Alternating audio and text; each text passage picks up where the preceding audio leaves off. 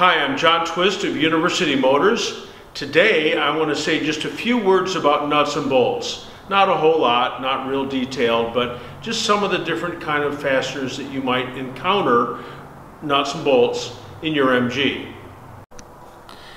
So these are, have all been replated. Well, one of them's brand new, but all, they've all been re replated.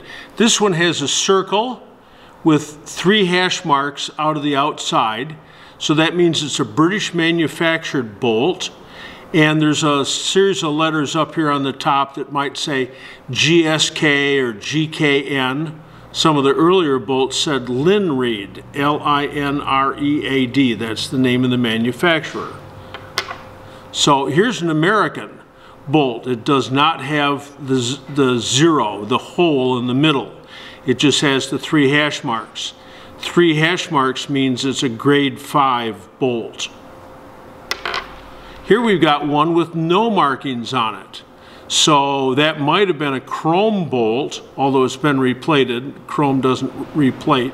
Although it looks pretty shiny here on the edges, maybe it, it is a chrome bolt um, for a, a decorative use, which aren't embossed. They also aren't grade 5.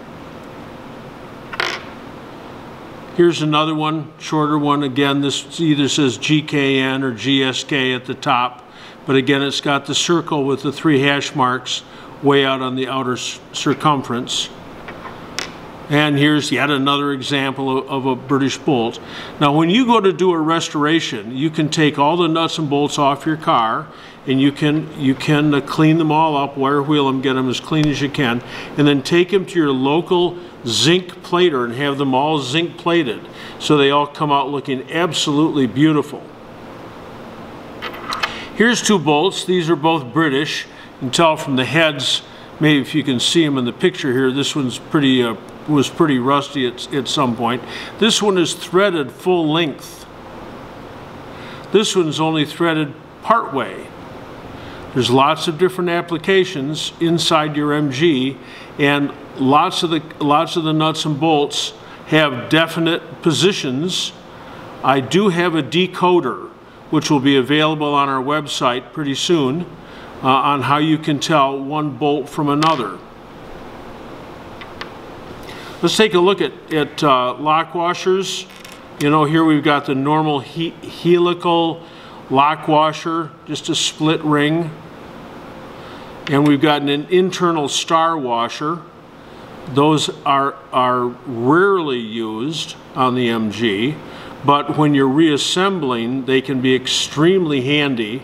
Say, for instance, you're putting a master cylinder back in the master cylinder box on an MGB clutch master cylinder. There's a bolt which comes from the inside um, and uh, you, are supposed to put a um, lock washer on it and a nut.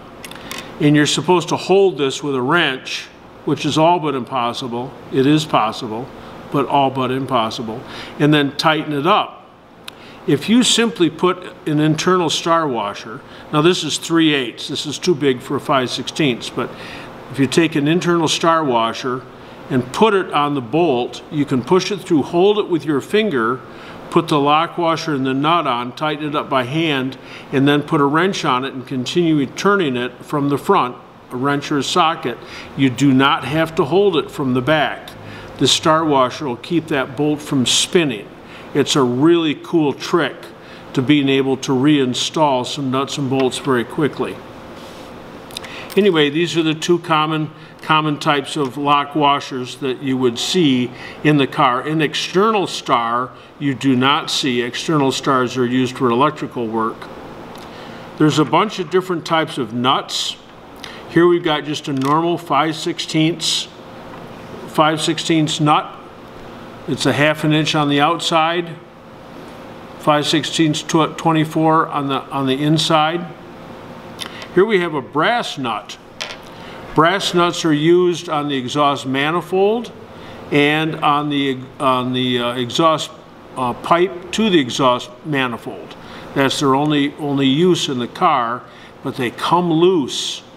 Brass nuts come loose. They need to be retightened from time to time.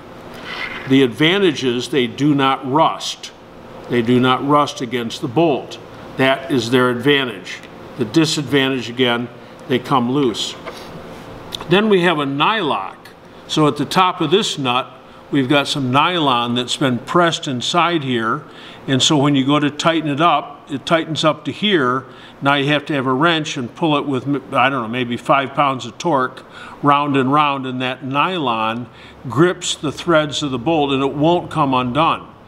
It's a nylock. It's a real nice lock bolt, but you can't use it any, any place where there's a lot of heat because it'll melt the nylon. Lastly, we've got a prevailing torque nut. Now, I don't know if you can see this or not, but this side of the, of the nut you can see is nice, the hole in the middle is nice and round. But when I turn it over, you can see that it's a little, a little bit elliptical. It's been squished at the top. So this, this will thread on up to there. Now you need five pounds or so of torque to carry it down. These prevailing torque nuts are the nuts for using on the manifold, the, to hold the manifold to the head and to hold the exhaust pipe to the manifold. These are great. Of course, you should use a little bit of anti-seize on them so they don't rust over a period of time. We used to use these exclusively. Um, I mean, we always use them uh, reinstalling exhaust systems and manifolds to cylinder heads. They're just great. Lastly, we've got what's called the aero nut. So you can see there's a slit 180 and then around the edge there's another slit around here and these are designed to be crushed at the top. They're not unlike the prevailing nut, uh, prevailing torque. Uh, but these are called aero nuts, A-E-R-O. Maybe they used them in airplanes. I, I don't know. I remember them. Um, well, here they are from a from a stud from the front of an MGB cross member. Um, I remember them from uh, the later T-type engines that, that didn't have a castellated nut which I don't have as an example here, but you know, a castellated nut is just a little bit taller than this and then has slits across it, either three or six, depending on whether you're measuring the, the whole line or not, and you tighten it up and then you can put a, a, a split pin, a cotter pin, uh, through a hole in the bolt, and the whole, the whole goal is to keep it from loosening, coming undone. But on the later T-types, they had, uh, uh, in the rod bolts, they had these aero nuts. So these have limited ap application. The nylocks and the aero nuts you can reuse.